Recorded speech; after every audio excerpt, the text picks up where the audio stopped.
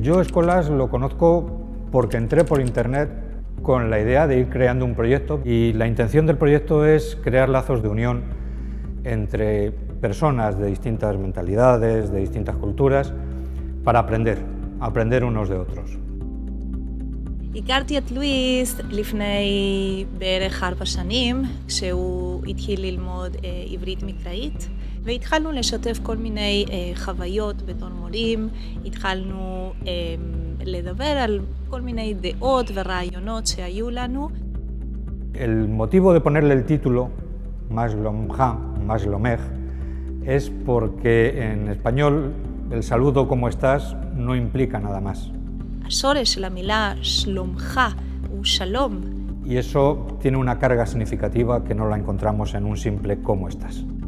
El hecho de estudiar hebreo a mí me ha ayudado a descubrir muchas cosas. Entrar en contacto con gente de otros países tiene que ser algo que nos ayude a descubrir los valores que se encierran en otras formas de pensar, a ser tolerantes con lo que piensan otros.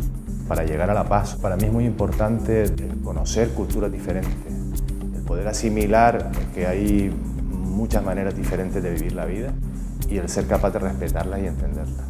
לפעמים, כאשר אנחנו לא מכירים מי הוא השני, אנחנו מפחדים ממנו.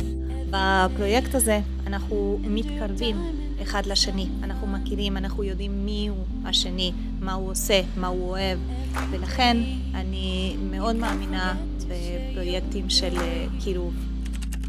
La tecnología es una herramienta que actualmente nos ofrece muchas posibilidades, pero creo lo importante en este proyecto y lo que plantea Escolas también es que la tecnología nos sirva para mucho más, no solo a nivel individual, sino a nivel colectivo.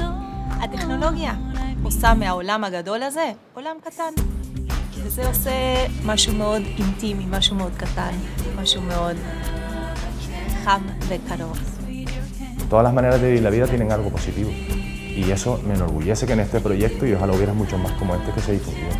Yo creo que Escola mm, es un punto de apoyo para cambiar el mundo.